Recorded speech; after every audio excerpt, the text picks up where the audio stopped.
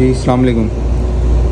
ये हमारे मैनेजर हैं अरशद साहब। ये आज सुबह से थोड़े उदास से हैं तो आज इनसे पूछते हैं कि इनकी आप बीती आज क्यों ये ऐसा कर रहे हैं? हालाँकि बड़े हंसमुख हैं। आज पूछते हैं कि ये क्यों थोड़ा उदास हैं? जी, अरशद साहब, बताएँ। हुआ ये कि कल रात में मैंने अमूमन हम लोग रात में वीडियो देखते हैं टिकटॉक वगैरह पे। मैं देख रहा था। तो एक बंदे ने जो है वो कुछ बोला कि आप मुनाफिक हैं, अगर आप फजर की नमाज़ नहीं पढ़ते। तो ऐसी वीडियो जब आती है ना तो आदमी भगा देता है। मैंने भी भगा दिया। लेकिन उसने बोला था कि ये हदीस है। तो वो दिमाग में मेरे टक कर गया कि मैं फजर की नमाज़ नहीं पढ़ता तो मैं मुनाफिक हूँ।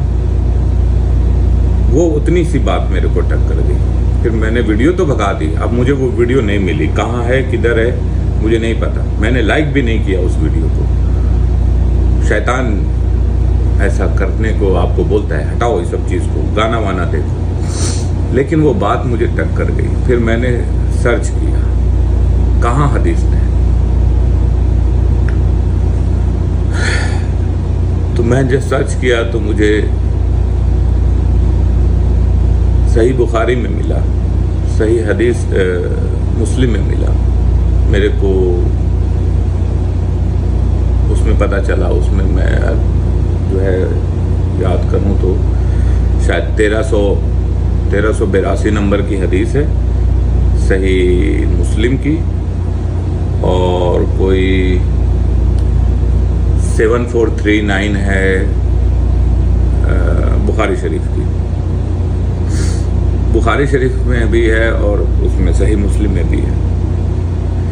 कि हुजूर वसल्लम ने फरमाया कि जो लोग अ, मतलब मुनाफिक हैं उन पर फजर की नमाज़ और ऐशा की नमाज़ भारी होती है। मेरी ये सुबह से ये आज नहीं, पंद्रह साल से मेरी ये रूटीन थी कि हम ड्यूटी पे आठ बजे, सात बजे आते हैं तो एक घंटा पहले अलार्म लगा के उठते हैं, नमाज़ पढ़ते आते हैं। पंद्रह साल से मैंने कभी फजर की नमाज़ नहीं पढ़ी।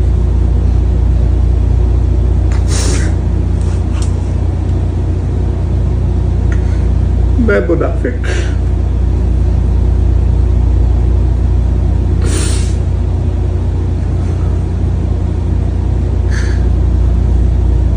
फिर मैंने रात में जो है,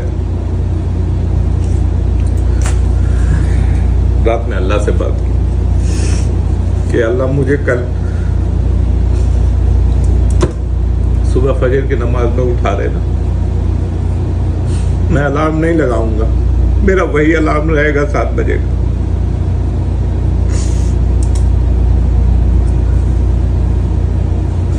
अल्लाह ताला ने मेरी दुआ सुनी। फजर में नहीं ताजुद में उठा दिया। मैंने अल्लाह का शुक्र अदा किया। ताजुद की नमाज़ पढ़ी, फजर की नमाज़ पढ़ी। लेकिन बड़ी खुशी हुई, जब मैं मस्जिद में गया, मैं देखा दो सफ लोग खड़े हुए हैं, नमाज़ पढ़ रहे हैं। मैं अकेला था। क्या मैं अकेला था जो सोता था? और पंद्रह साल से पढ़ता हूँ नमाज़, पाँचों वक्त की पढ़ता हूँ, लेकिन जमात के साथ नहीं।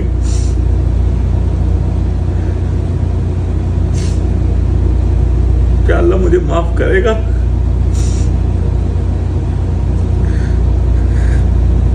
पंद्रह साल, एक दिन भी फजर की नमाज़ ना पढ़ी। बस यही बात है यार। जिसने हमें बनाया, खाना खिलाता है, उसके ऑर्डर को हम नहीं सुनते, वो जब बुलाता है हम नहीं सुनते। ये कंपनियाँ जिसमें हम काम करते हैं, ये टाइम पे बुलाती हैं, हम टाइम पे आते हैं, इनकी सुनते हैं। जिनको हमने दो तीन साल काम करके छोड़ देना है दूसरे के पास जाना है उनसे डर के उनके टाइम पे हम आते हैं अल्लाह के टाइम पे नहीं आते। तो हम मुनाफिक ही हुए ना।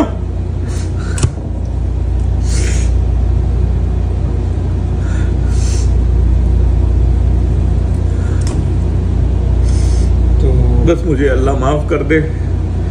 इंशाल्लाह। और और क्या बोलूँ? नहीं बोला जा रहा कुछ भी। बस यही बात है। चलें ये आपने अरशद साहब का सुना है इनको हर हर अल्लाह ताला जब भी किसी को हिदायत देता है तो वो एक क्लिक होता है जिसमें उसकी वो पूरी ज़िंदगी जो है ना बदल जाती है। तो आज ये सुबह से बड़े उदास थे तो मैंने पूछा आज ये क्यों ऐसे हैं? तो फिर उन्होंने आज अपनी ये आप बीती बताई है। तो अल्लाह ताला इन, इनको भी जो इन्होंने सोचा है जो इन्होंने आज किया है इस पर इनको गामजन रखे और हम सबको पाँच वक्त का नमाजी बनाए और सब पे अपना रहम करें और सबको अपने हिफाज ईमान में रखे।